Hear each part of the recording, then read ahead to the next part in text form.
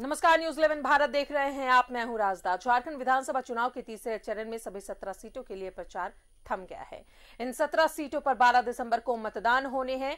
तीसरे चरण में सत्रह विधानसभा सीटों पर कुल 309 प्रत्याशी चुनावी मैदान में हैं। इनमें 277 पुरुष और 32 महिला प्रत्याशी हैं। आइए देखते हैं किस सीट से कौन कौन चुनाव लड़ रहा है। तीसरे चरण का दंगल सत्रह सीट के लिए है। सिमरिया से चार प्रत्याशी चुनावी मैदान में हैं।